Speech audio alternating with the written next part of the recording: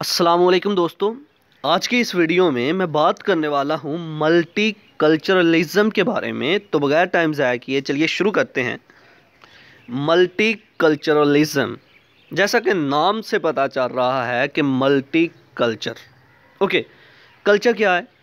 कि हमारी ट्रेडिशन हमारे कस्टम्स हमारी हैबिट्स हमारे बिहेवियर हमारी सोसाइटी के अंदर that is culture for example हमारे पाकिस्तान के अंदर शलवार कमीज़ पहनना ये कल्चर है। हमारे पाकिस्तान के अंदर उर्दू लैंग्वेज बोली जाती है, ये कल्चर है। हम अपने कल्चर को फॉलो करते हैं। हम शलवार कमीज़ पहनते हैं, हम उर्दू लैंग्वेज बोलते हैं। हमारे पाकिस्तान के अंदर कौन सी फ़ूड कौन सी गज़ा खाई जाती है, ये कल्चर है। हम कौन सी गज़ा खाएँगे? इसी तरह अगर वेस्टर्न की बात की जाए यूरोप कंट्रीज़ की बात की जाए तो वहाँ पर पेंट शर्ट पहनना ये कल्चर है।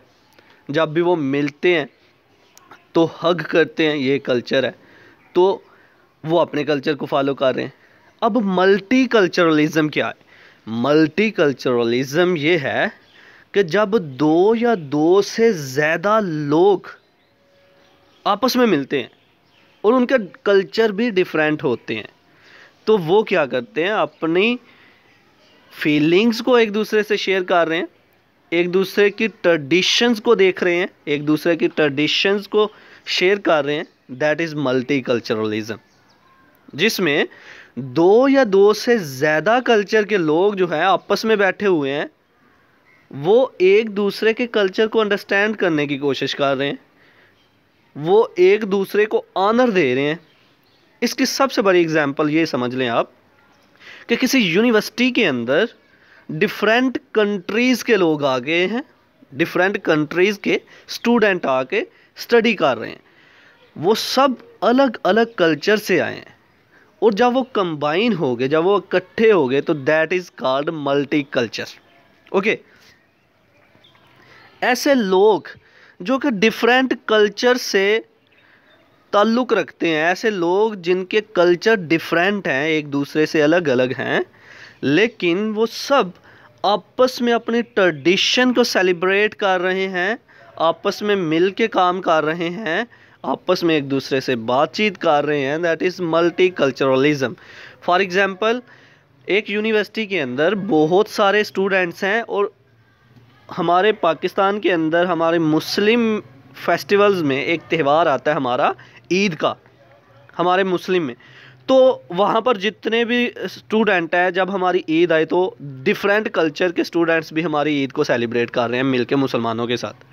तो क्या हो गया कि वो एक अपनी ट्रेडिशंस को, हमारी ट्रेडिशन को वो भी अडाप्ट कर रहे हैं। सारे डिफरेंट कल्चर के लोग मिल के that is multi culturalism okay तो चलिए आप इसको लफ्जी तौर पर पढ़ते हैं। Point number one multiculturalism is the coexistence of diverse culture multiculturalism जो है, ये डिफरेंट कल्चर्स की कम्बिनेशन है।